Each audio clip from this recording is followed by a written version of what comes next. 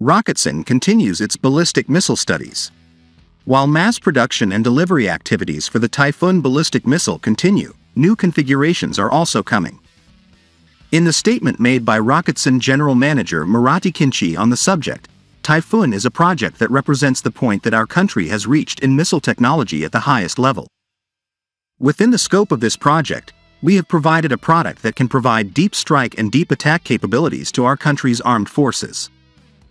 The TAYFUN missile will not consist of a single product, it will have variants. It will continue its path as a strategic weapon system that will serve our armed forces as a product family with its warhead diversity and capability diversity in its warheads. Mass production of TAYFUN continues. Our armed forces already share their needs in this regard with us. In the following stages, the TAYFUN project will continue its life not as a finished product, but as a system that will meet the needs of our armed forces at the highest level with its variants, new capabilities and in the future.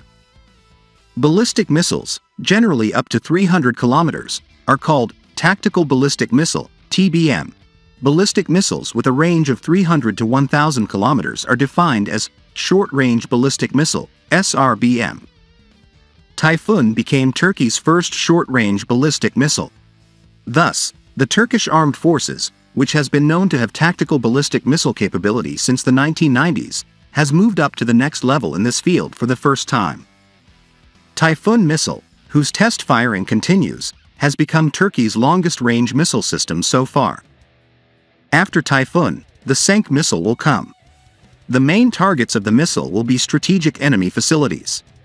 Many critical basic components of the TAYFUN missile, such as engine, fuel and guidance, were also developed by Roketsan.